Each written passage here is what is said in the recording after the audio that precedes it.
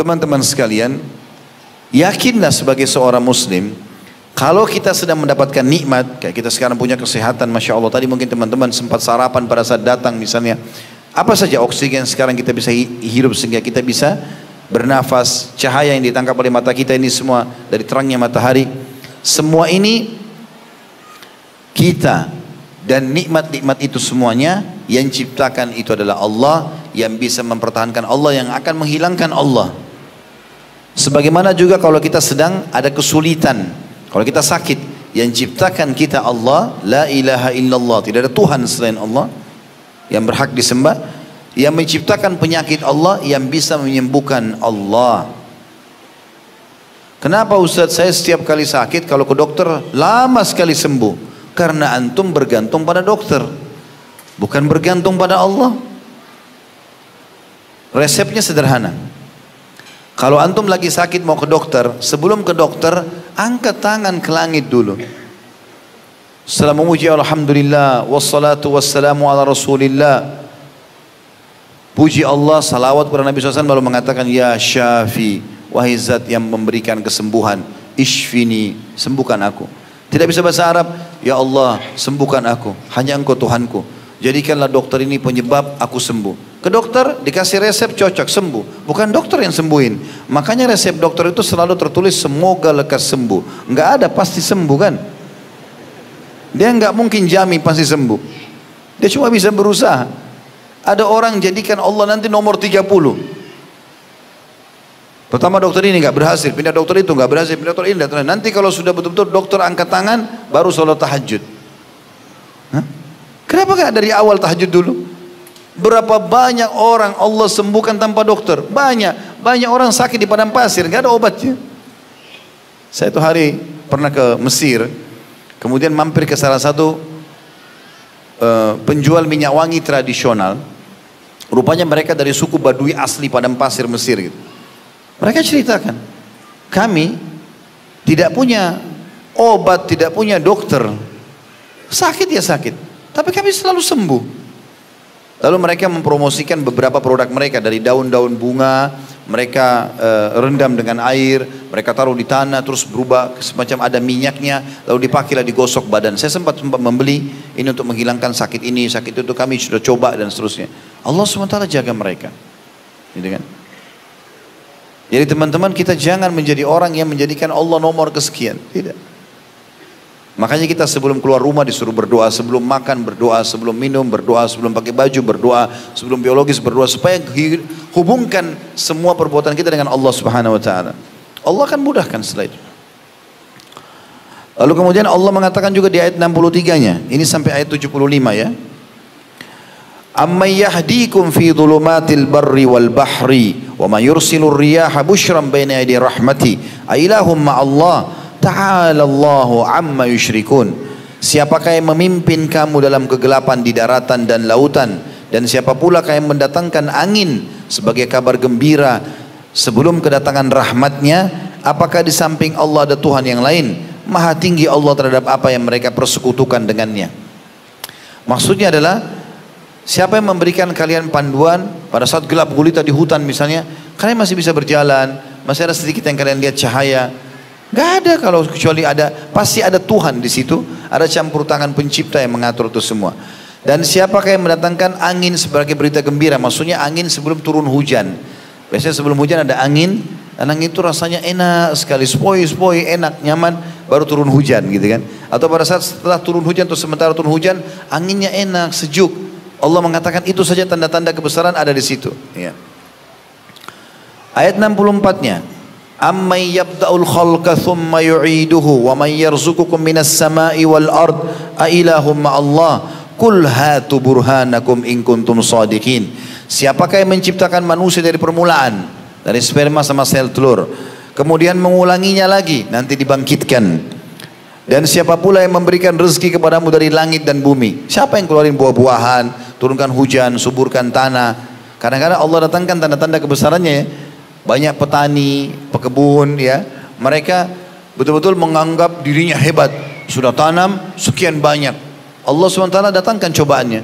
Dalam satu malam Allah datangkan tikus entah dari mana habis nggak jadi panen. Sekali Allah tahan hujan, kemarau, mengeluh semuanya petani. Nggak bisa, nggak ada air.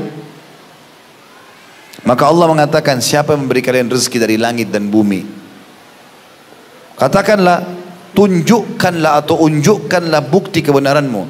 Jika kamu memang orang-orang yang beriman. Sebelum kita lanjutkan teman-teman, saya juga ingin menitik beratkan sebuah poin di sini. Coba teman-teman di ruangan ini sekarang, di masjid ini, di ruangan ini kita renungi sama-sama. Coba datangkan Tuhan-Tuhan yang disembah selain Allah yang selama ini kita tahu.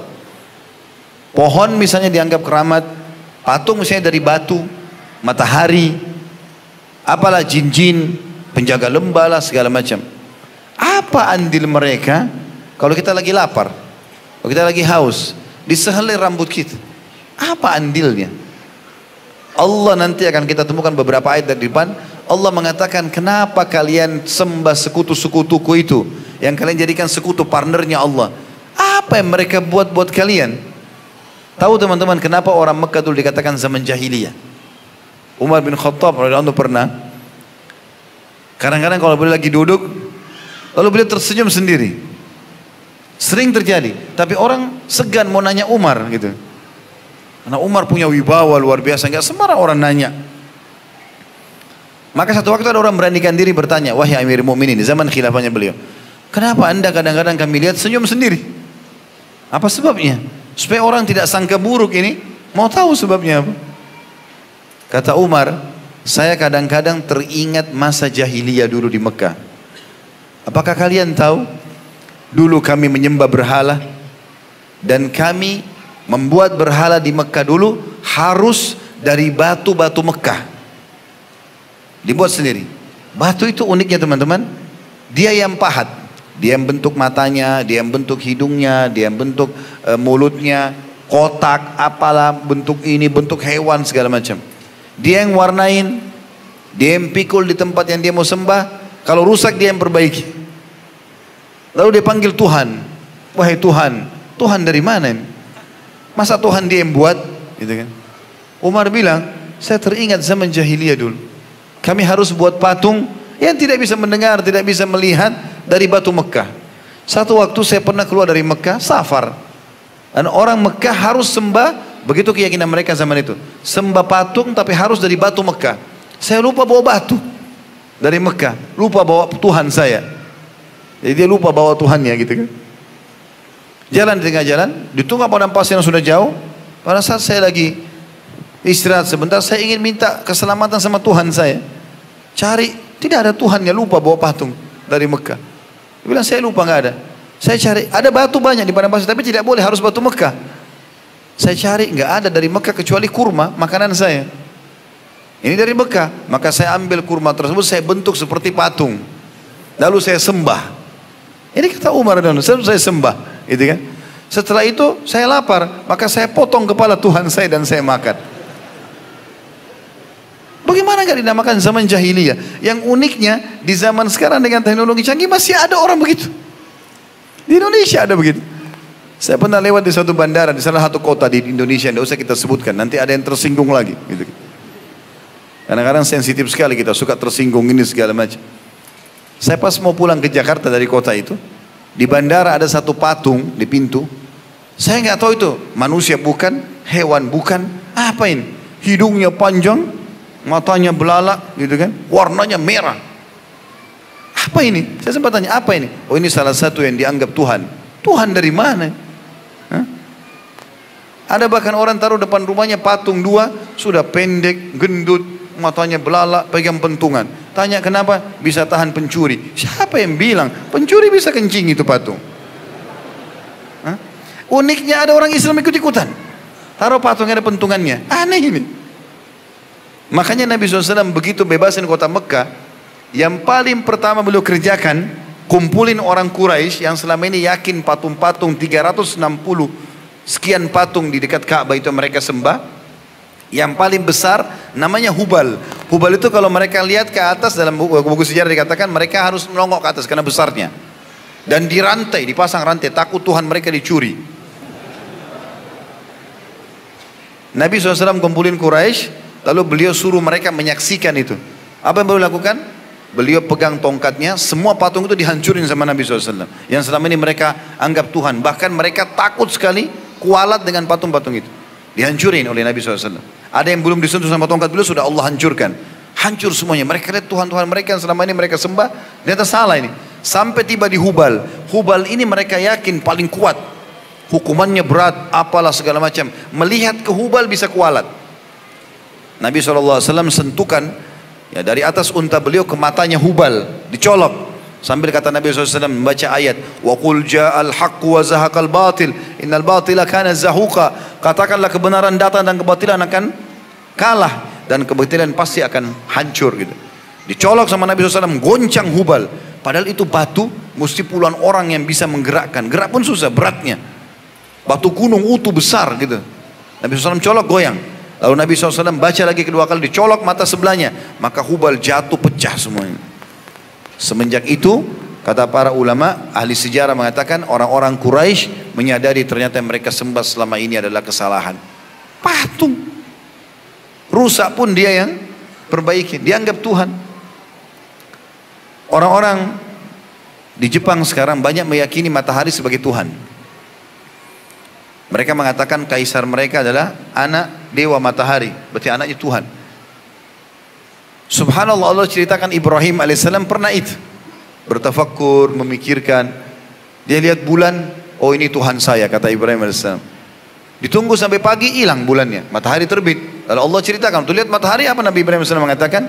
Hada Rabbi, hada Akbar. Ini Tuhanku, ini lebih besar matahari. Allah ceritakan dalam Al-Quran. Maka pada saat ditunggu sampai terbenam matahari, terbenam matahari. Maka Ibrahim AS mengatakan tidak mungkin Tuhanku terbenam. Maka dia mengatakan saya mau arahkan wajah saya kepada yang telah menciptakan langit dan bumi ini. Bukan cuma matahari dan bulan gitu. Seperti itu. Ya, fenomenanya. Begitu juga dengan orang yang menyembah syaitan, jin. Iseng ini. Datang ke gua, datang ke pinggir laut, wahai penjaga gua, wahai penjaga laut. Mana itu penjaganya? Pernah lihat? Kok aneh benerin? Manggil-manggil. Perhatikan teman-teman dan bisa baca tafsirnya. Tafsir surah jin ayat-ayat pertamanya. Allah ceritakan surah nomor 70 dalam Al-Quran. Orang-orang Arab Quraisy dulu zaman jahiliyah, mereka agak aneh ini. Apa anehnya?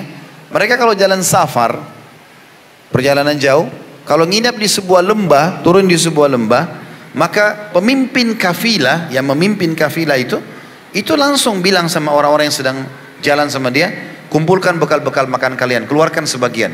Diambillah, kayak sesajen gitu. Dia minta dari orang-orang yang jalan sama dia. Lalu dia datang ke tengah-tengah lembah padang pasir. Lalu dia mengatakan, wahai penjaga lembah, ini setengah bekal kami, jangan ganggu kami ya. Ini tradisi jahiliyah dulu. Apa kata Allah?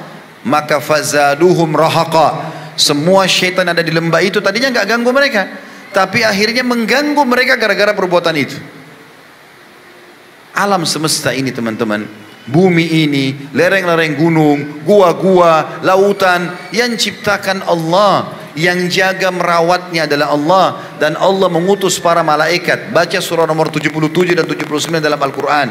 Malaikatlah yang telah mengatur pergantian siang malam turunnya hujan populasi manusia hewan-hewan mengatur lautan. Malaikat tidak ada ini syaitan lemah. Allah mengatakan inna kaidah syaitani kana dhaifa. Syaitan lemah, dia hanya terlihat kuat bagi orang yang sengaja takut-takuti dirinya. Antum biar jalan di kuburan, biar lewat di lembah, gak ada yang ganggu antum itu. Yang buat terganggu gara-gara dia sendiri. Membuat rekayasa-rekayasa informasi dusta, bohong. Bukankah sinetron kita perusakan akidah di Indonesia ini sering terjadi? Dilihatkan kuburan terbuka, pocong keluar. Lalu datang ketuk-ketuk rumah minta makanan. Siapa di sini yang pernah kedatangan kakeknya minta makanan dengan baju pocongnya? Ada? Ini kedustaan dari mana ini? Tapi kalau antum tanamkan itu sebagai sebuah keyakinan, nanti antum bisa lihat betul permainan syaitan. Coba kita bongkar kedoknya syaitan ya. Walaupun pasti syaitan marah sama saya gara-gara ini. Biarin aja dia marah. Kalau ada orang bunuh diri di satu rumah, saya pernah tanya jemaah saya ini, Bapak Ibu sekarang kalau ada rumah ada orang pernah bunuh diri di situ, mau beli nggak rumahnya? Di sini orang mau beli nggak?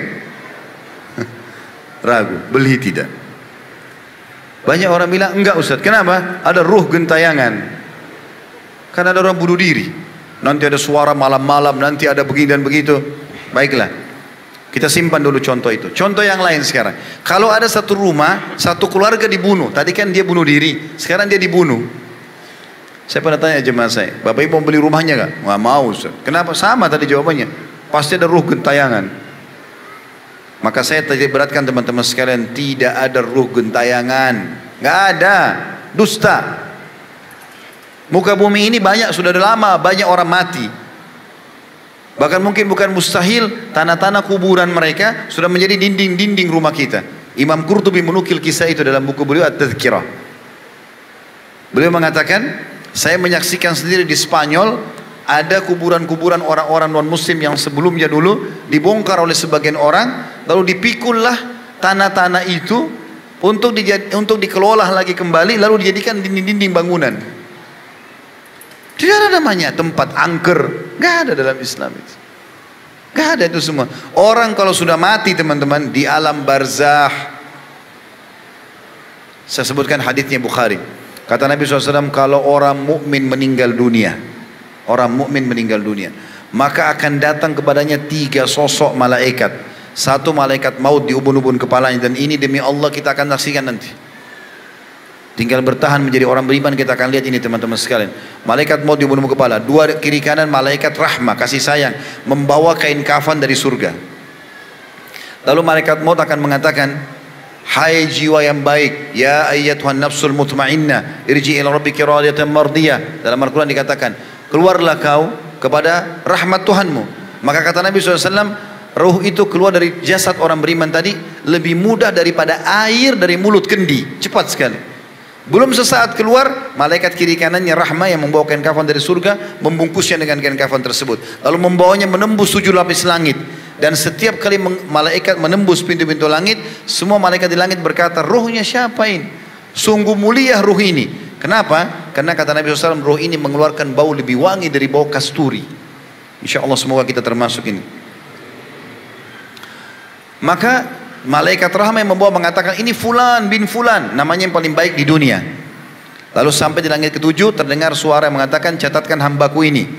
Termasuk ahli surga, kembalikan dari dunia di sana saya ciptakan, di sana pula saya akan bangkitkan. Dia kembalikanlah ruhnya bersamanya jasad, jasadnya diantar oleh kerabatnya. Kata Nabi SAW waktu tiga langkah pengantarnya pulang, maka Allah mengutus kepadanya malaikat yang lain di kuburan, mungkar nakir. Lalu dudukkan dia. Lalu kemudian menanyakan kepada dia pertanyaan siapa Tuhanmu, siapa Nabimu, apa kitabmu. Maka kalau dia orang beriman kata Nabi SAW dia akan jawab dengan sangat mudah sesuai dengan firman Allah SWT yuthabbitullahu alladhina amanu bil qawli thabiti fil hayati dunya wa fil akhirah. Allah akan menetapkan jawaban di lisan orang-orang beriman untuk mengetahui atau menjawab di dunia dan di akhirat. Di dunia kalau ditanya kenapa kau beriman sama Allah, kenapa kau mengakui Al-Quran, seperti kita jelaskan sekarang, kita tahu. Di akhirat adalah pertanyaan para malaikat di kuburan kata ulama tafsir. Lalu kemudian kata Nabi SAW dia akan jawab dengan mudah lalu dibukakan baginya pintu neraka. Dia lihat siksaan api, teriakan, jeritan segala macam dia takut. Malaikat bilang apa? Lihat dari apa Allah selamatkan dirimu.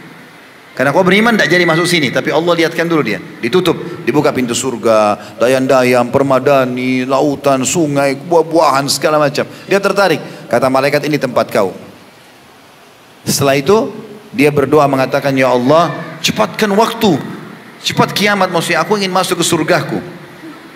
Lalu datang di sebelahnya orang yang tampan bersih wangi. Dia kagum. Maka dia karena kagum dia mengatakan siapa kau ini? Sungguh sempurna ciptaan Allah pada dirimu. Dia mengatakan aku adalah amal solehmu yang akan menemani kau sampai hari kiamat. Jadi sholat kita puasa kita majlis ilmu begini semuanya zikir baca Quran doa akan jadi makhluk di kuburan menemani kita. Lalu kemudian terdengarlah Allah SWT berfirman mengatakan kepada para malaikat ya, bentangkan permadani dari surga buat hambaku ini.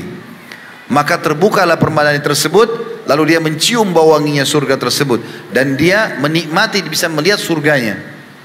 Maka jadilah kuburannya taman dari taman surga. Taman dari taman surga. Ini kalau orang beriman. Selamanya sampai hari kebangkitan. Kalau orang fasik Muslim lebih banyak dosanya dan orang kafir, kafir masuk orang musyrik, orang munafik semua masuk dalam kafir. Maka akan datang tiga sosok malaikat. Satu malaikat mau dibunuh-bunuh kepala, dua malaikat penyiksa di kiri kanannya. Bawa kain kafan dari neraka. Lalu akan berkata malaikat maut, hai jiwa yang busuk, keluar kepada murka Tuhanmu. Wa na'udzubillah. Semoga Allah selamatkan kita dari ini. Maka yang terjadi teman-teman sekalian, ruhnya nggak mau keluar kata Nabi SAW. Berantakan di tubuhnya. Maka malaikat maut mencambuk wajah dan bokong mereka dengan keras. Sebagaimana Allah jelaskan dalam surah Al-Anfal. Maka Dicabutlah ruhnya dengan cara paksa. Kata Nabi SAW, ibaratnya seperti bulu domba yang dibasahkan, dililitkan di pohon berduri lalu ditarik dengan keras sehingga berantakan bulu domba itu.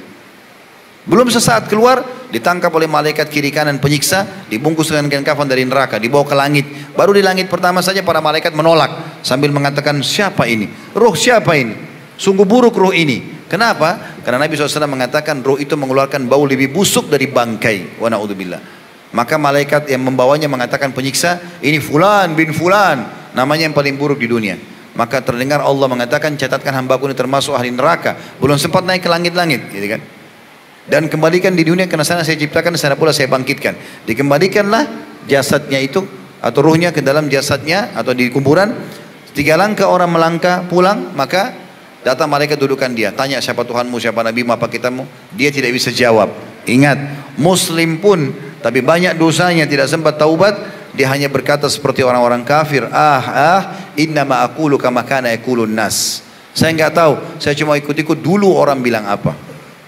Lalu kemudian setelah itu dibukakan baginya pintu surga oleh para malaikat, dia kagum lihat ya, luar biasa indahnya. Maka dia pun berkata, eh, malaikat pun berkata, lihat dari apa kau haramkan dirimu.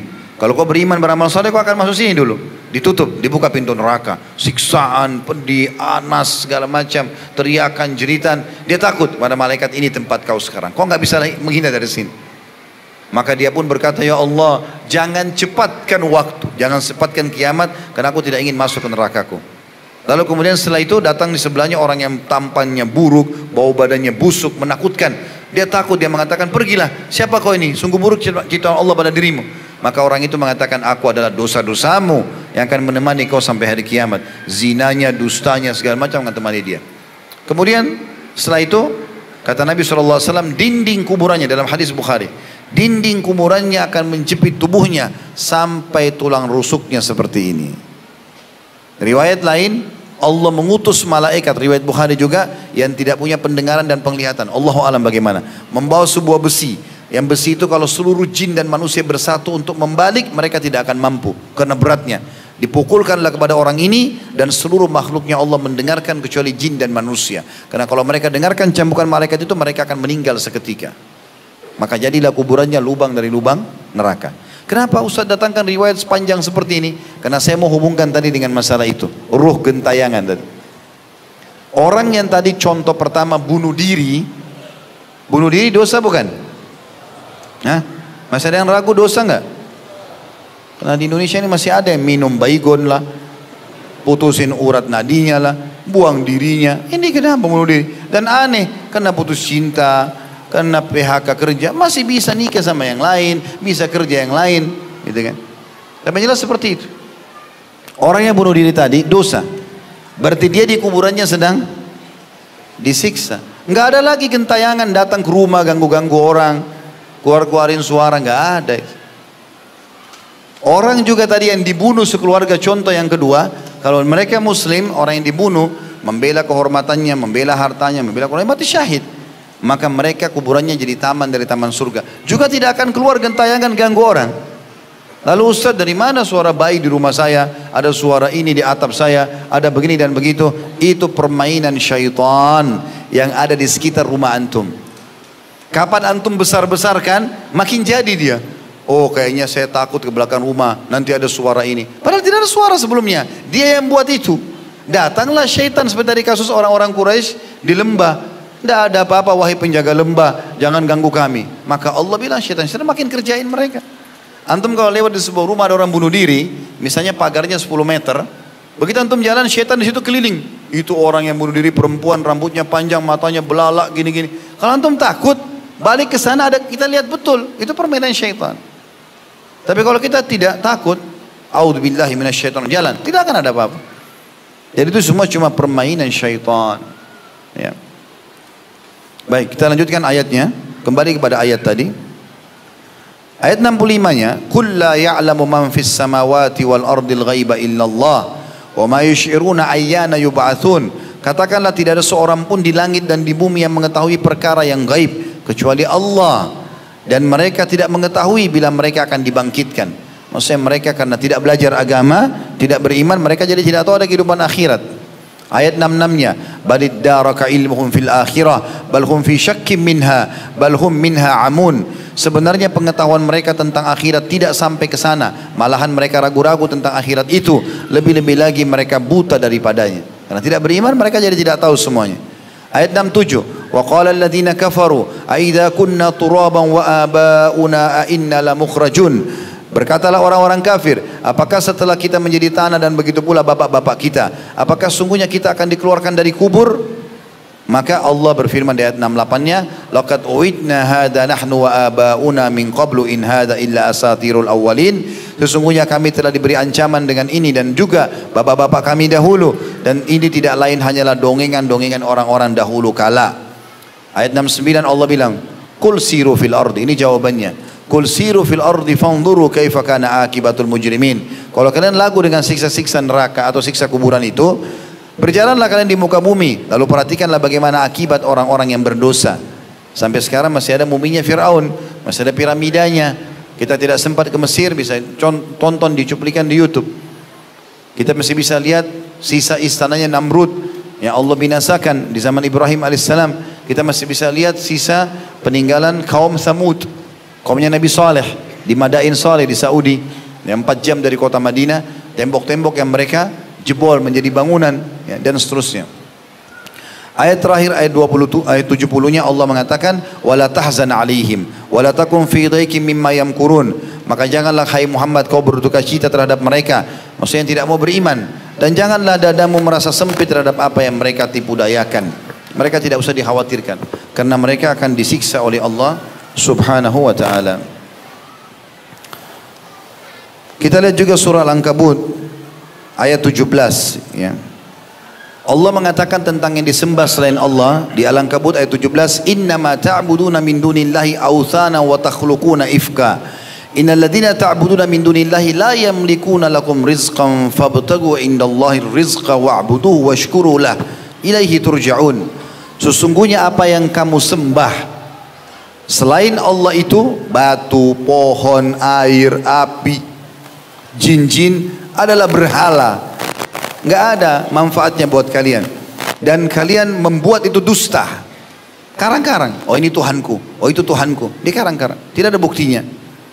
Sesungguhnya yang kamu sembah selain Allah itu tidak mampu memberikan rezeki kepadamu. Maka mintalah rezeki itu di sisi Allah. Dan sembahlah dia. Dan bersyukurlah kepadanya. Hanya kepadanya lah kalian akan dikembalikan. Itu juga ayat-ayat mulia kita percepat sedikit kena waktunya. Surah Ar-Rum, surah nomor 30. Di ayat 20, mulai ayat 20-nya. A'udhu billahi minasyaitan rajim.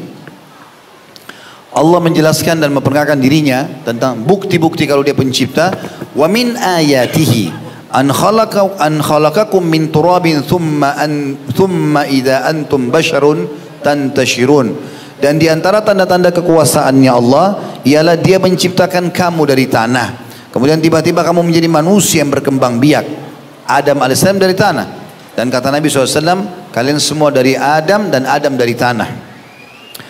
Ayat 21 nya wa min ayatihi an khalaqa lakum min anfusikum azwajan litaskunu ilaiha wa ja'ala bainakum mawaddatan wa rahmah inna fi dzalika laayatin liqaumin yatafakkarun. Dan di antara tanda-tanda kekuasaannya Allah N-nya besar kata ganti Allah ialah dia D-nya besar juga Allah. Dia menciptakan untukmu istri-istri dari jenismu sendiri. Kita cenderung dengan manusia. Supaya kamu cenderung dan merasa tentram kepadanya terpenuhi biologis kalian yang dijadikannya di antara kalian rasa kasih dan sayang. Sesungguhnya pada demikian itu benar-benar terdapat tanda-tanda bagi kaum yang mau berfikir. Ada kecenderungan dengan lawan jenis, apalagi kalau sudah menikah ada kasih sayang. Ini Allah yang buat semua itu. Ayat 22. Wa min ayatihi, perhatikan kalimat wa min ayati dan tanda-tanda kebesaran Allah.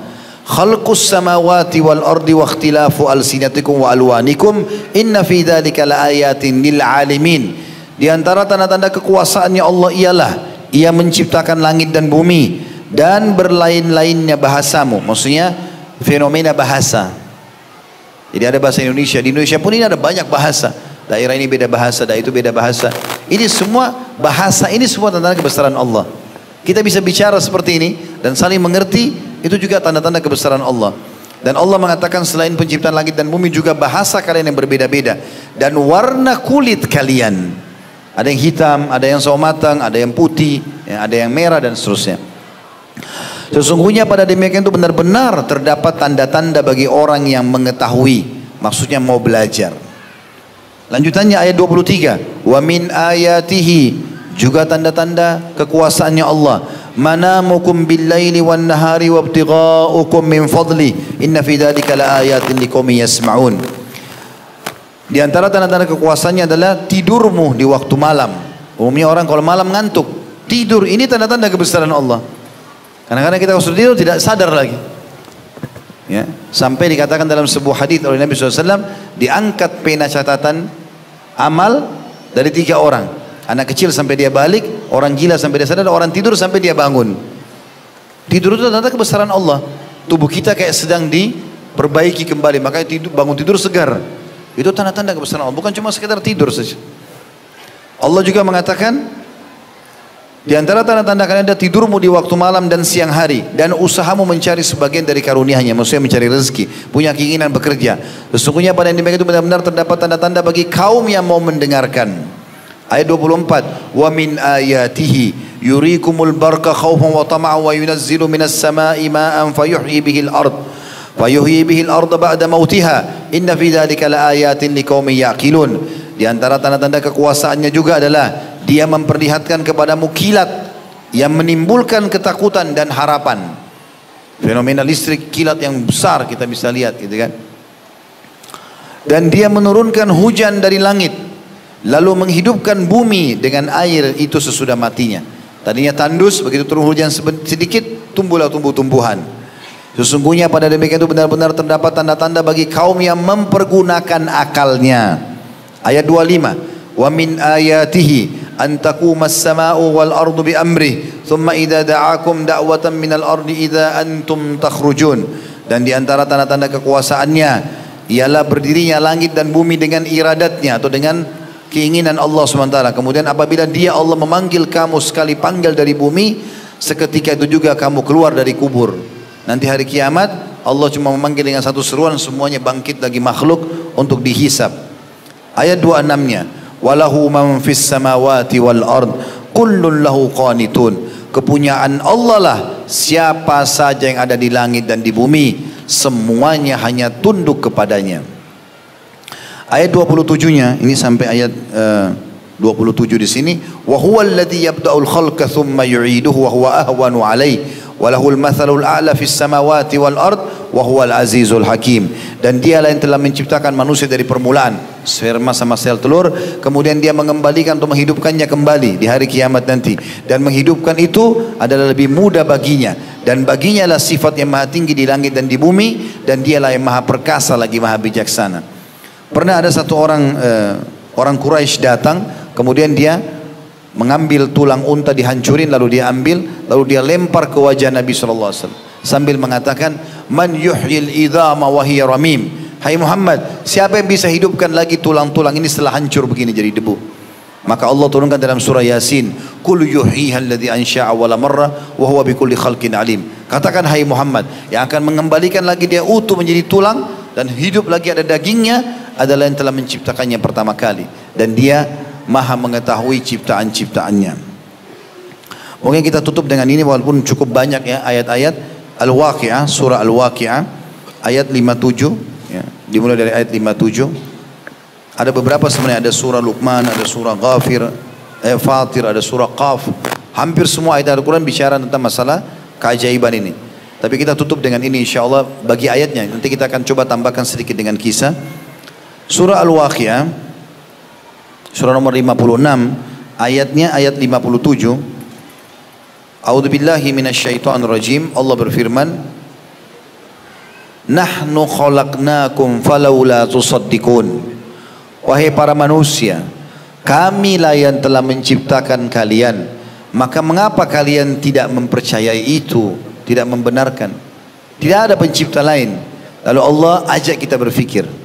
Ayat 58 nya afara'aitum ma tubnun maka coba terangkan kepadaku tentang nutfah yang kamu pancarkan spermamu itu bagi kaum laki-laki ayat 59 a antum takhluqunahu am nahnul khaliqun kamu kayak menciptakannya atau kami kayak menciptakannya tidak ada opsi lain sekarang kalau di luar tubuh mungkin kau masih mengatakan patung ini yang menciptakan, pohon itu yang menciptakan. Tapi di tubuhmu sekarang sperma dalam tubuhmu. Kau pancarkan sehingga jadi manusia. Kau yang ciptakan atau kami yang ciptakan? Tidak ada pilihan. Kalau kau ciptakan buktikan coba. Bahkan kita harus mengeluarkannya dengan cara dipaksa dulu baru bisa keluar. Lalu Allah mengatakan ayat 60-nya, "Nahnu qaddarna bainakumul mauta wa ma nahnu bimasbuqin." Kami telah menentukan kematian di antara kamu. Bukan cuma ciptakan sperma, ajalmu pada saat itu pun kami sudah tentukan. Dan kami sekali-kali tidak akan dapat dikalahkan, kata Allah.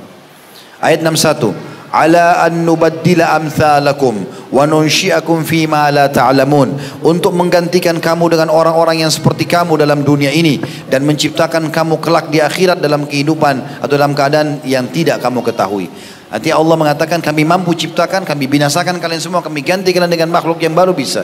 Begitu juga kami akan bangkitkan kalian dan kami akan hisap kalian hari kiamat. Ayat 62-nya, Walaqad alimtumun nash'atal ula falaula tadhakkarun. Sesungguhnya kalian telah mengetahui penciptaan yang pertama. Kalau belajar tahu dari Adam, maka mengapa kamu tidak mengambil pelajaran untuk penciptaan yang kedua? Artinya kalian sudah ada diciptakan di muka bumi ini, sebagaimana kita ada di sini, kita juga bisa ada di akhirat. Ayat 63-nya, afara'aitum ma tahruthun. Coba terangkan juga kata Allah kepadaku tentang apa-apa yang kamu tanam, tumbuh-tumbuhan itu. Ayat 64-nya, antum tazra'unahu am zari'un. Kamu kayak menumbuhkannya atau kami kayak menumbuhkannya? Yang kau tanam sekarang, kau yang tumbuhkan atau kami yang tumbuhkan? Coba dengan caramu sendiri. Tidak usah kasih air, tidak usah kasih pupuk, bilang saja tumbuh, nggak bakal tumbuh. Berarti kau tidak bisa. Atau kami yang ciptakan, sehingga kami membuat keluar daunnya, ukurannya, buahnya, kadar airnya dan kami mudahkan kau dapat air bisa menyiramnya. Allah mengatakan ayat 65-nya, "Lau nasya'u laja'alnahu hutaman fadaltum tafakkahun." Kalau kami kehendaki, benar-benar kami jadikan dia hancur dan kering tumbuh-tumbuhan kalian itu, maka jadilah kamu heran dan tercengang. Tadi saya kasih contoh, petani sudah tinggal panen besok padinya, Allah datangkan tikus, habis semua. Mereka cuma bisa tercengang, kok bisa ya? Ujungnya manusia cuma bilang, kok bisa? Ayat 66, Inna lamugramun. Lalu mereka sambil berkata yang tercengang tadi tanamannya hancur semua. Sesungguhnya kami benar-benar menderita kerugian. Ayat 67-nya, bal nahnu mahrumun. Bahkan kami menjadi orang-orang yang tidak mendapat hasil apa-apa. Ayat 68-nya, afara'aitumul ma'alladhi tashrabun. Ini yang ketiga Allah ingatkan di sini. Terangkan kepadaku tentang air yang kau minum. Ini air yang kita lihat sekarang depan mata. Siapa yang buat air seperti ini syairan ini? Dan siapa yang membuat menciptakan kita juga dan siapa yang membuat kita butuh dengan air ini. Dan subhanallah kalau kita haus teman-teman, kita nggak bisa ganti yang lain. Kita kalau haus makan tambah haus. Harus minum. Nggak bisa tidak dan harus ini. Aneh itu. Kalau orang tidak yakin dan tidak faham masalah ini. Allah bilang coba lihat air yang kalian minum terangkan kepadaku. Ayat 69 a antum anzaltumuhu minal muzni am nahnul munzilun? Apakah kami yang menurunkannya atau apakah kamu yang menurunkan dari langit atau kami yang turunkan? Makna tafsirnya adalah kalau kalian mengatakan hujan kalian turunkan coba turunkan. Setetes saja atau kami yang turunkan? Kalau kami turunkan berarti kalian harus beriman. Ayat ayat 70-nya lau nasya'u la ja'alna law nasha'u ja'alnahu ujajan falaula tashkurun. Kalau kami kehendaki niscaya kami jadikan air yang turun hujan itu asin. Maka mengapa kau tidak bersyukur? Kalau kami jadikan asin tidak bisa kalian fungsikan. Minum air asin tidak bisa. Walaupun suci. Yang terakhir yang keempat Allah ingatkan ayat 71 afara'aitumun nara allati turun. Terangkan kepadaku tentang api yang kamu nyalakan. Maknanya adalah dengan menggosok-gosokkan kayu atau batu Ayat tujuh duanya. Antum ansya'tum syajaratah am nahnul munsyi'un? Kamu kayak menjadikan kayu itu atau kami kayak menjadikannya? Yang kalian jadikan kayu bakar, potong dari pohon lalu jadikan kayu bakar lalu dibakar. lalu terbakarlah. Itu pohon-pohon yang kalian jadikan sebagai bahan bakar. Kalian yang menciptakan kah? Atau kami yang menciptakan kata Allah? Ayat 73-nya. Nahnu ja'alnaha tadhkiratan wa mata'an lil muqwin. Sesungguhnya kami jadikan api itu untuk peringatan dan bahan yang berguna bagi musafir di padang pasir. Ayat terakhir 74. Fasabbih bismi rabbikal azim. Maka bertasbihlah dengan menyebut nama Tuhanmu yang maha besar. Maksudnya berimanlah dan patuhlah kepadanya. Kita akan tutup teman-teman sekalian. Sudah jam 10 saya ambil beberapa menit saja. Dengan kisah-kisah, beberapa kisah yang ingin saya sampaikan. Mudah-mudahan keburu insya Allah. Tentang fenomena orang-orang yang sudah meyakini apa saja yang tadi sudah kita sampaikan ini. Dan bagaimana realisasi dalam kehidupan mereka sehari-hari. Mudah-mudahan dengan ini kita bisa ambil pelajaran insya Allah dan lebih menambah keimanan kita. Ada sebuah buku yang saya baca ini. Buku ini judulnya Kisah-kisah Nyata. Ditulis oleh Ibrahim bin Abdullah Al-Hazimi. Diterbitkan oleh Darul Haq ya. Ini bukan tulisan saya tapi cukup menarik buku ini. Banyak kisah-kisahnya. Di antaranya adalah ada kisah dinukir oleh Abu Farraj Ibnu Jauzi rahimahullah. Beliau berkata, Aku pernah mendengar bahwasanya ada seorang dari golongan mulia dan terkemuka berjalan melintasi sebuah kuburan. Tiba-tiba dilihatnya ada seorang perempuan yang cantik mengenakan baju hitam. Dipandanglah perempuan tersebut akhirnya dia pun jatuh hati. Lalu dia menulis sepucuk surat untuk si perempuan itu. Dia mengatakan sebelumnya aku kira matahari itu hanya satu dan hanya bulan yang berhak mendapat sifat kecantikan. Hingga akhirnya aku melihatmu saat mengenakan baju duka yang berwarna hitam. Dan pelipismu terangkai indah di atas pipi. Maka aku pun berlalu. Sementara hatiku dipenuhi rasa suka. Jantungku bergetar dan air mata pun bercucuran. Jawablah ungkapan ini seiring dengan ucapan terima kasih. Dan gunakanlah kesempatan untuk menyambung hubungan dengan orang yang sedang kasmara. Maksudnya ini syair cinta. Jadi cinta dengan seorang wanita. Setelah ditulis, dilemparkan surat tadi ke arah perempuan yang dia lihat dekat kuburan tadi. Tak kala si perempuan telah selesai membaca surat itu, dia menjawab tulisan itu, dia mengatakan, Bila anda memang memiliki garis keturunan dan nasab yang bersih, sesungguhnya orang yang mulia dikenal dengan sifat menundukkan pandangan dari yang haram. Dan sungguhnya para pezina itu adalah manusia yang tidak bermoral. Sadarilah bahwa pada hari kiamat nanti anda akan dihadapkan di hadapan Allah urungkan harapanmu. Semoga Allah melaknat anda sebagai laki-laki bila tidak mau. Sebab hatiku sudah terpaling dari perbuatan keji. Kata Ibnu Qayyim setelah si pria membaca balasan suratnya tadi dia memaki dirinya sendiri. Seraya berkata apakah pantas ada wanita yang lebih berani meninggalkan keburukan dibanding kamu sebagai sementara kau laki-laki? Lalu pria itu pria tadi bertaubat kepada Allah dan mengenakan baju dari bahan wol Kemudian pergi ke Baitullah Al-Haram di Ka'bah. Suatu hari, maksudnya dia beribadah di sana, dekatkan diri kepada Allah. Sudah tidak pikir lagi masalah dunia. Satu hari, saat dia sedang dalam tawaf, tiba-tiba dia lihat wanita cantik yang dulu pernah dia sukai. Dia juga mengenakan baju dari wall wanita itu. Si wanita berkata kepadanya, alangkah pantasnya penampilan seperti ini untuk seorang yang mulia.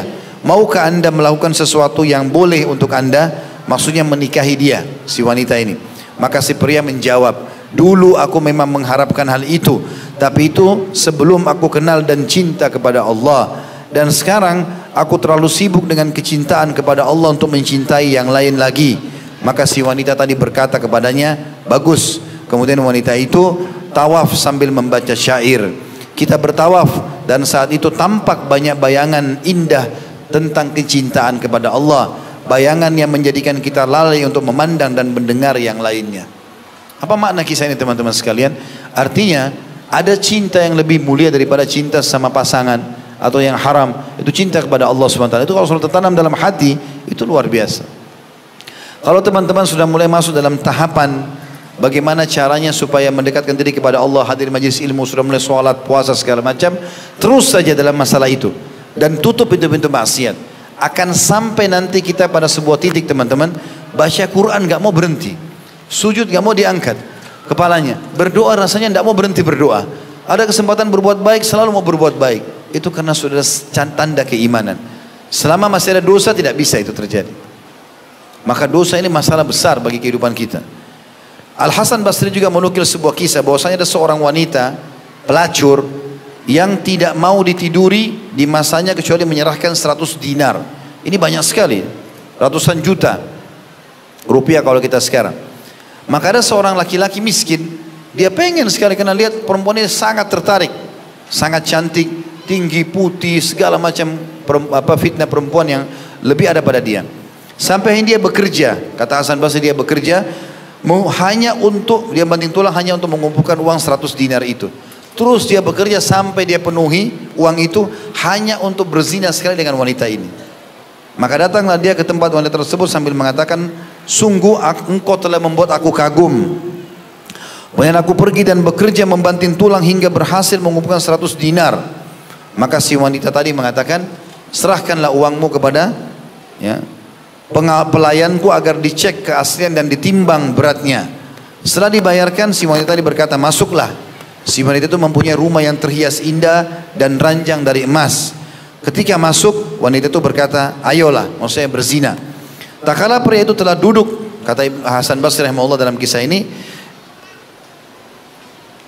dengan posisi duduknya seseorang yang ingin berzina. Maksudnya di atas perempuan tersebut. Pada saat itu dia tiba-tiba mengingat bagaimana si laki-laki ini ya, bagaimana nanti dia mempertanggungjawabkan perbuatan zina di hadapan Allah tubuhnya tiba-tiba menjadi gemetar dan syahwatnya hilang. Maka dia tiba-tiba berkata pada wanita itu, biarkanlah aku keluar dari rumah ini. Tidak jadi, dia tarik kemaluannya tidak jadi berzina. Dan uang 100 dinar ambil saja untukmu. Maka kata Hasan Basri dengan penuh rasa heran si wanita tadi bertanya, ada apa denganmu? Kau telah mengaku pernah melihatku lalu engkau kagum dan menginginkan diriku. Kemudian engkau pergi bekerja membanting tulang hingga berhasil mengumpulkan 100 dinar. Dan setelah engkau bisa mendapatkan aku kau mengatakan hal tersebut. Kau meninggalkan tiba-tiba. Ini sungguh aneh. Seperti yang menjawab tidak ada yang mendorongku untuk melakukan hal itu selain perasaan takutku kepada Allah subhanahu wa ta'ala. Aku membayangkan bagaimana saat nanti aku berdiri di hadapannya Si wanita berkata, jika kau memang benar-benar berkata jujur, maka tidak ada yang berhak menjadi suamiku kecuali engkau. Tapi si pria tidak menanggapi itu. Dan dia hanya berkata saja, biarkan aku keluar. Si wanita bilang, baiklah, tapi kau harus berjanji bahwa nanti kau akan menikahiku. Si pria berkata lagi, tidak ada janji sampai aku keluar. Si wanita berkata, engkau harus berjanji. Demi Allah bila nanti aku datang kepadamu, kau akan menikahiku. Pria itu lalu menjawab, Mungkin. Lalu dia mengenakan pakaiannya dan pergi menuju ke negerinya. Dan si wanita tadi, karena sikap laki-laki tadi, maka dia pun meninggalkan dunia hitamnya dengan penuh penyesalan atas segala apa yang pernah diperbuatnya. Sampai akhirnya ia mencari tahu tentang negeri si pria tadi. Kemudian dia bertanya pada orang-orang di sana tentang nama dan alamat rumahnya yang ditunjukkan oleh mereka. Orang-orang berkata kepada pria tersebut, Ratu cantik sedang datang dan menanyakan tentang kamu. Karena memang sangat terkenal dengan kecantikannya. Saat pria tersebut melihatnya, dia terkejut, lalu kejang dan tiba-tiba mati seketika di tempat. Lalu jatuh di hadapan wanita itu. Maka dia berkata, aku sudah tidak mungkin, kata wanita ini, aku tidak mungkin lagi mendapatkan orang yang satu ini. Tapi apakah dia punya seorang kerabat? Maka orang-orang menjawab, ya, dia punya saudara laki-laki yang miskin. Maka si wanita tadi akhirnya berkata pada saudara laki-lakinya, aku ingin menikah denganmu karena aku cinta pada saudaramu. Akhirnya keduanya menikah dan dikaruniai tujuh orang putra. Tapi saksi bahasan kita teman-teman, bagaimana perempuan laki-laki ini meninggalkan zina karena takut kepada Allah Subhanahu wa taala. Ini kalau sudah kenal Tuhan akan seperti itu. Dia tidak ingin lagi melakukan itu. Dinukil kisah yang mirip dengan itu ada seorang laki-laki, dia terkenal dengan ketampanannya dan dia menjual keranjang-keranjang ya untuk pikul buah. Ada seorang wanita putri raja terkenal dengan kecantikannya ingin berzina dengan dia. Maka dibuatlah sebuah rekayasa keadaan bahwasanya pelayan-pelayan si ratu ini keluar dari rumah lalu memanggil laki-laki tersebut minta tolong kalau ada orang yang minta ada yang orang butuh bantuan dalam rumah. Setelah masuk ke dalam maka kata si ratu tersebut kamu sudah terkunci sekarang kami tidak memanggilmu untuk meminta tolong atau membeli keranjang-keranjangmu. Tapi kau harus melakukan perzinahan. Bukan cuma sama aku, sama pelayan-pelayanku juga ini. Dan kalau kau lakukan apa yang kau minta, maka kami akan memberikan kepadamu. Maka dia mengatakan bertakwalah kepada Allah, jangan begini-begini. Laki-laki terkenal dengan kesolehannya. Maka ternyata tetap saja perempuan-perempuan ini memaksa. Kalau kau menolak, maka secara otomatis ya kami akan teriak dan orang akan mengerumunimu atau membukulmu. Maka dia pun mengatakan, kalau begitu izinkan aku beruduk dan berdoa. Maka dia, perempuan ini bilang, jangan kau olok-olok aku. Ambilkan pelayan air, diambilkan air. Dia beruduk, kemudian dia setelah beruduk berdoa kepada Allah SWT. Ya Allah, sebagaimana aku telah menjaga kemaluanku dari yang haram semasa aku hidup ini, maka selamatkan juga aku uh, apa dalam yang haram uh, dari dari uh, selam aku telah menyelamatkan kemaluanku dari yang haram ya dan jangan engkau jurumuskan sekarang kemaluanku dalam yang haram dengan wanita ini. Karena lama-lama kalau digoda terpengaruh juga. Tiba-tiba Allah buat perutnya mules, kemudian dia bilang aku ingin masuk ke kamar mandi. Dia masuk ke kamar mandi, kemudian dia buang air besar. Laki-laki ini sangat bersih dan tampan. Tiba-tiba setelah buang air besar muncul di benaknya ide untuk mengambil kotoran dia sendiri. Diambil lalu digosok di badannya, di bajunya. Dia tidak pernah lakukan itu. Waktu dia keluar dari WC kayak kita sekarang, tiba-tiba si ratu tadi melihat dia tuh perempuan yang cantik ini melihat heran, ada tai, ada kotoran di badannya. Lalu kemudian Eh, perempuan itu mengatakan sungguh jorok kamu ini, kotor sekali. Dia bilang beginilah saya sekarang. Maka perempuan itu mengatakan pada pelayannya keluarkan laki-laki ini karena saya tidak pernah temukan laki-laki yang sekotor ini. Maka dia pun keluar dari rumah tersebut tidak jadi berzina sambil sujud syukur kepada Allah Subhanahu wa taala. Begitu mereka meninggalkan dosa-dosa dan sekian banyak kisah yang kalau kita mau ceritakan mungkin tidak akan pernah habis ya. Ada beberapa buku yang saya sarankan untuk teman-teman miliki di antaranya tadi buku kisah-kisah nyata ini ada juga 99 kisah orang saleh dibacain. Ada juga satu buku saya lupa kalau tidak salah judulnya 125 kisah nyata. Semuanya teman-teman sekalian tujuannya adalah bagaimana kita agar melihat di realita kehidupan kita memang ada orang yang sudah terapkan dan diberikan oleh Allah Subhanahu wa taala dan sebaliknya ini sebagai kata penutup saya. Kalau kita melakukan kemaksiatan maka akibatnya akan sama dengan orang buat maksiat. Kalau antum kerja di satu kantor, antum lihat ada orang sukses. Dia kerja, dia benar, ikuti peraturan, dia baik, maka dia naik jabatannya. Kita kalau masuk kantor kita ikutin, kita akan seperti dia. Kalau ada orang yang ugal-ugalan, suka buat pelanggaran, lalu antum ikuti dia dan dia dipecat di kantor, antum pun akan diucat. Akibat yang kita contohi akan menimpa kita sendiri. Ikuti orang-orang beriman dan beramal soleh kita akan sama mereka. Ikuti ahli maksiat kita juga akan sama bersama mereka. Dan dengan cara menjaga ketakwaan kepada Allah ini, secara otomatis akan sangat indah hubungan dengan Allah subhanahu wa ta'ala. Allahu alam. Baik begitu saja karena sudah menjelang setengah sebelas Saya pun harus jalan ke bandara Mudah-mudahan bermanfaat Dan mohon maaf bagi teman-teman yang belum sempat kami jawab pertanyaannya Mudah-mudahan insya Allah eh, Dengan niat bertanya sudah Allah berikan pahala tentunya. Dan Anda bisa jawabkan Atau tanya atau mendapatkan jawabannya Mungkin dari ceramah-ceramah kami yang lain Atau asatidah yang lain tentunya mungkin yang sudah menjawabnya. Subhanakallahumma bihamdika Asyadu an la ilaha illa anta astagfiruka wa atubu ilaik. Wassalamualaikum warahmatullahi wabarakatuh